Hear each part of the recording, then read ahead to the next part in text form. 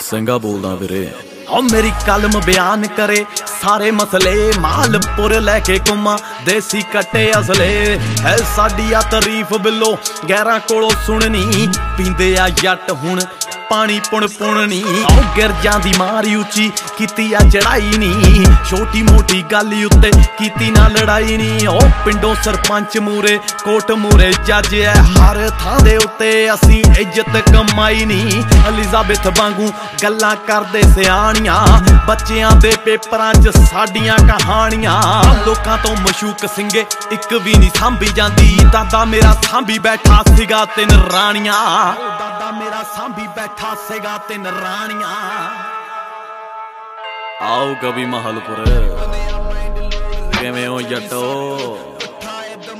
ਇੱਥੇ ਹੀ ਆ। ਕਿਤੇ ਨਹੀਂ ਗਿਆ ਸੀ।